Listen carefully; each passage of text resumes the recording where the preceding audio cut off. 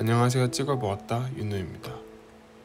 인물 사진이나 뮤직비디오를 보다 보면 굉장히 예쁘게 꾸며진 집처럼 보이는 장소들이 많이 나옵니다.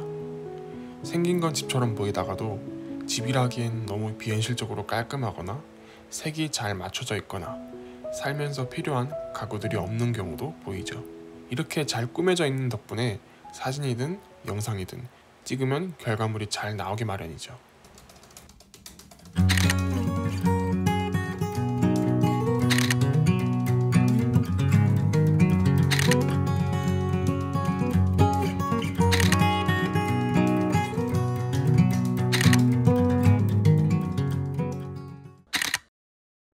이렇게 조명 없이 자연스러운 자연광을 테마로 해놓은 장소를 자연광 스튜디오라고 합니다.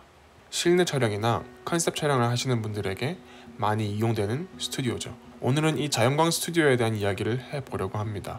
자연광 스튜디오는 아주 섬세하게 꾸며진 공간을 대여해주는 곳입니다. 스튜디오마다 스타일도 제각각이고 모던한 스타일부터 독특한 스타일까지 요즘은 굉장히 다양한 스타일의 스튜디오가 많더라고요.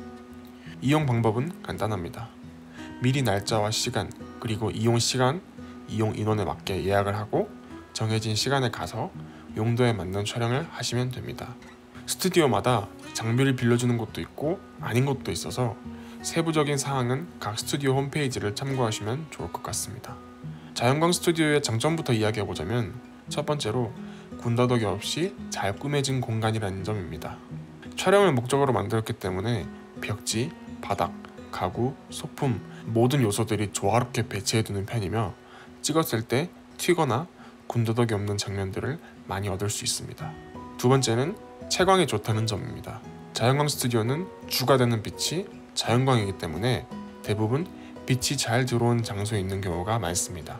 은은하게 들어오는 태양광만큼 좋은 조명이 없죠. 마치 드라마나 뮤직비디오에서 보던 그런 멋진 빛을 볼 수 있다는 장점이 있습니다.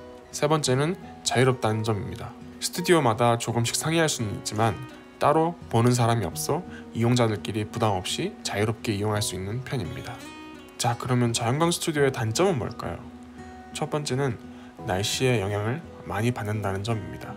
실내에 조명 기구가 있다면 조금 부담이 덜하겠지만 자연광이 가장 주가 되는 스튜디오라면 기상 상태에 영향을 많이 받는 편입니다. 해가 들어오는 분위기를 찍고 싶은데 그날 비가 온다면 안타까운 상황이 발생하겠죠. 그래서 자연광 스튜디오는 날씨를 자세하게 알아보고 예약하시는 게 좋습니다. 두 번째는 시간에도 영향을 받는다는 점입니다. 해가 뜬다는 가정하에 오전의 태양과 오후의 태양, 해질녘의 태양은 질감이 아주 다릅니다. 그렇기 때문에 보통 오후 3시에서 6시 이 시간대 예약이 많이 몰리는 편입니다.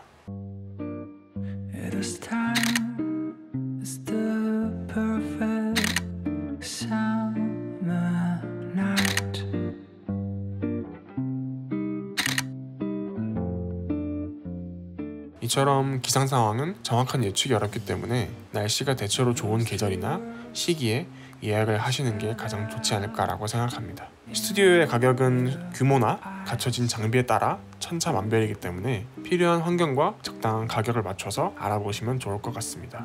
오늘 영상은 여기까지고요. 오늘은 자연광 스튜디오에서 찍어보았다였습니다.